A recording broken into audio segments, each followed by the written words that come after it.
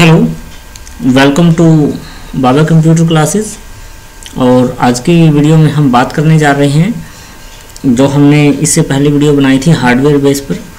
तो उस हार्डवेयर में हमने क्या क्या सीखा? तो आज उसी बेस पर हम क्वेश्चन लगाएँगे, ठीक है? तो चलिए स्टार्ट करते हैं हार्डवेयर बेस पर। एमसीक्यू क्वेश्चंस को, ठीक है?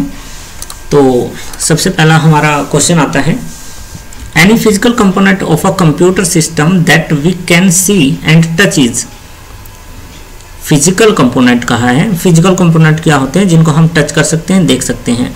और वो हमारे क्या कहलाते हैं? हार्डवेयर कहलाते हैं। ठीक है? नेक्स्ट क्वेश्चन है हमारा।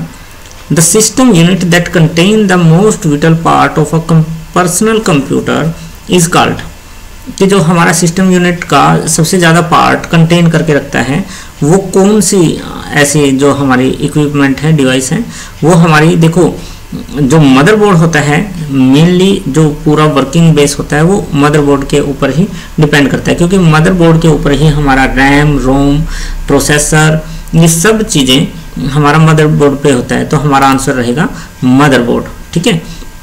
तो इस चीज़ का ध्यान रखना, सबसे ज़्यादा चीज़ें जो हैं, वो पार्ट हैं, वो मदरबोर्ड के ऊपर ही हार्डवेयर के इंटरनल हार्डवेयर के पाए जाते हैं, ठीक है? और मदरबोर्ड कंसिस्ट ऑफ़ क्या क्या चीज़ें कंसिस्ट रखता है? कंट्रोल यूनिट जो हमारी प्रोसेसिंग की वो होती हैं, वो भी सारी की सारी मदरबोर्ड पर होती हैं। Basic input output system BIOS जिसको बोलते हैं, वो भी हमारे मदरबोर्ड पर होती है। एक्सपेंशन स्लॉट जो हम उसके, जो भी डिवाइसेस को अटैच करने के लिए जो हमारे स्लॉट होते हैं, और बेसिक इनपुट आउटपुट जो बसेज हैं हमारे, और उनको अटैच करने के स्लॉट होते हैं, वो सारे के सारे जो हैं हमारे मदरबोर्ड पर होते हैं। तो हमारा आंसर रहेगा all of the above next question है which of the following is considered as the brain of the computer, जो कंप्यूटर का ब्रेन क्या कहलाता है? कौन सा? देखिए, ब्रेन क्या है? जो पूरा का पूरा इनपुट और आउटपुट और फिर प्रोसेसिंग उस पूरे सिस्टम को कंट्रोल करके रखता है। तो वो है हमारा सेंट्रल प्रोसेसिंग यूनिट, ठीक है, सीपीयू।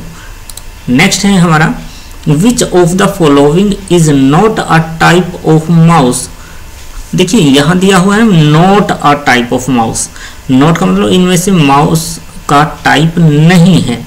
अब माउस का टाइप कौन सा नहीं है? वायरलेस माउस देखने को मिलते हैं हमको। ऑप्टिकल माउस देखने को मिलते हैं, जिसके नीचे वो रेड लाइट होती है, वो ऑप्टिकल माउस ही कहलाते हैं। अगर आपने हार्डवेयर की वीडियो देखी है तो उसमें बता रखा है एक एक को अच्छे से एक्सप्लेन कर रखा है।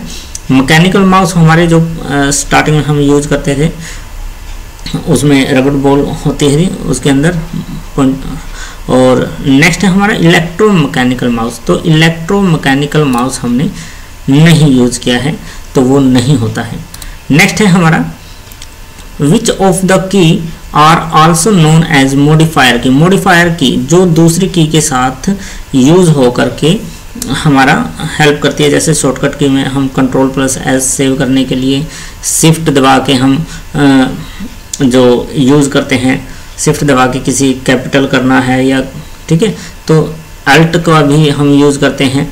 अल्ट कंट्रोल अल्ट एफ़ तो एग्जिट करने के लिए। तो इस तरह से ये जो की हैं, ये तीनों की तीनों हमारी मॉडिफायर की हैं, ठीक है? तो ऑल ऑफ़ द अब हमारा आंसर होगा।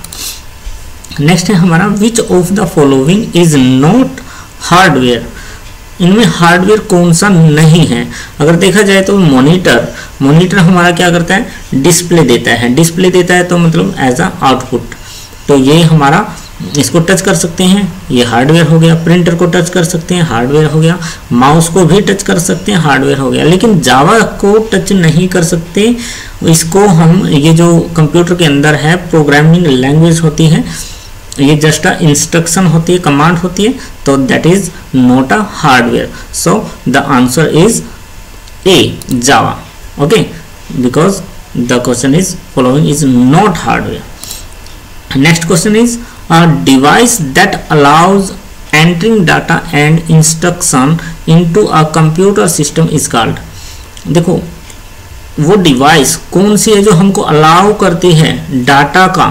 मतलब जो हमारी इंफॉर्मेशन है या हमारी कमांड है, जो हम कंप्यूटर के अंदर एंटर करने का हमारा हेल्प करती है, वो हमारी कौन सी है? इंट्रैक्शन नहीं होती टर्मिनल नहीं होता कम्युनिकेशन भी नहीं होता, वो हमारी इनपुट डिवाइस है जो हमारी हेल्प करती है अलाउ करती है, जिसके थ्रू हम कोई भी इंस्ट्रक्शन कोई भी इनपुट कंप्यूटर के अंदर भेज सकते हैं। Which of the following is not device input device sorry तो इनपुट डिवाइस कौन सी है? देखिए, प्रोजेक्टर से हमको डिस्प्ले देखने को मिल रहा है मतलब आउटपुट। प्रिंटर से भी हमको आउटपुट मिल रही है as a printed form monitor से भी हमको डिस्प्ले पर इंफॉर्मेशन देखने को मिल रही है। तो माउस से हमको कोई बाहर इंफॉर्मेशन नहीं मिलती। तो माउस जो है पॉइंटिंग का काम करता है क्लिक करने का काम करता है इनपुट देने का काम करता है। तो हमारा आंसर क्या रहेगा? बी माउस नेक्स्ट है हमारा which of the following is not an input device input device कौन सी नहीं है? अब देखिए कौन सी इनपुट डिवाइस नहीं है? माउस हमारी इनपुट डिवाइस है। कीबोर्ड से भी हम इनपुट देते हैं। स्कैनर से भी जो भी डाटा को स्कैन करके वो कंप्यूटर में सेव करता है एज अ इनपुट डिवाइस हो गया।